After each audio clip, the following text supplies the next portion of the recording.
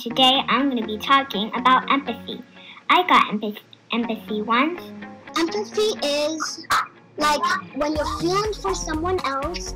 If someone lost something they really love, you, sometimes you could just make a picture in your mind and feel for someone else. Like if you lost something you really love, that's how you feel for others.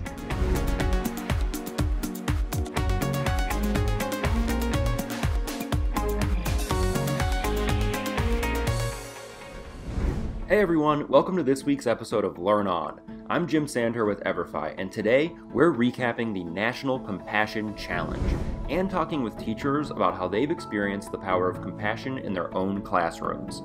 This November, we challenged students all over the country to reflect on the concept of empathy and share their thoughts, stories, and plans for action. Let's see what they came up with. There was a boy who bullied me and colored my shoe. I was so sad. I got empathy when I let someone borrow my school supplies. It made me feel good. And I also got empathy when I sticked up to a bully at school. Hey guys, it's Miss Montemperto here. I just wanted to take a minute um, as we continue working on empathy and compassion to talk to you today about a moment when I experienced compassion and empathy.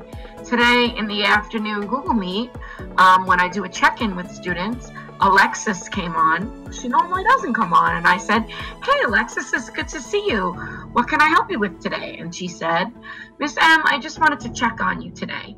Because this morning you seemed a little upset because, you know, maybe not everybody was doing all the right things they need to do. And it's December right? And we've been on remote learning a few months now.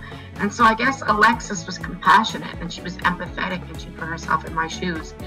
And she could understand that, you know, we don't always have the best day, but we have to do our best to move forward. And Alexis, thank you so much for checking on me. I'm better now and I'm going to be even better tomorrow when we do more work. And I'm so happy that you're putting what we're learning into practice as far as empathy and compassion go.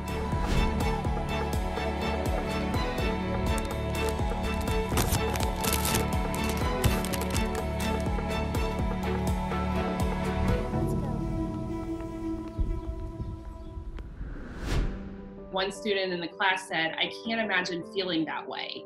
And the quote was about um, just believing in yourself. And he then went on to say that he felt like he was a nobody and that he would never amount to anything. And so she just said it was so beautiful how the class just kind of wrapped around him and, you know, just lifted him up and gave um, just gave him such a boost of confidence. What I was really proud of right now and this is what I was going to show you if I can get it up here. And this is what our students have been doing. It really, you know, we say that, you know, this generation is entitled and and they tend to be a little self-centered. I think that COVID and the isolation a little bit has started to make them really think about what they're thankful for. Um, and several students in different classes, including my teaching class, you know, they're like, you know, we're really thankful for our teachers. That's what we need to tell them that. And so, you know, writing those cards, getting those little notes, I know that's been a boost to the teachers.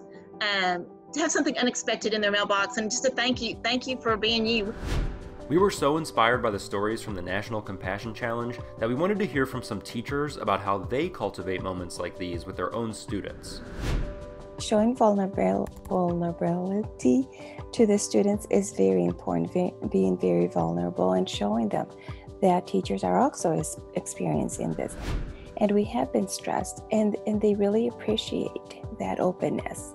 I also try to build a classroom built on like equity and mutual understanding. So we build classroom guidelines, and I always tell them, you know, these rules apply to me as well. So just like you might not be interrupting each other, I'm not going to interrupt you. Um, if I do something that you don't agree with, please let me know. So I feel like we really try to build classroom environments built on again that mutuality that respect that transparency and you know also firm boundaries um, i feel like one thing i learned is i might not be your friend because i'm an adult but that doesn't mean i'm not going to be there for you or that i'm not going to um, listen to you or treat you as an equal so I think you have to look at the whole child. I mean, it's just you, teachers we can't afford in in our in our current educational system we can't afford to be tunnel vision with just our content area.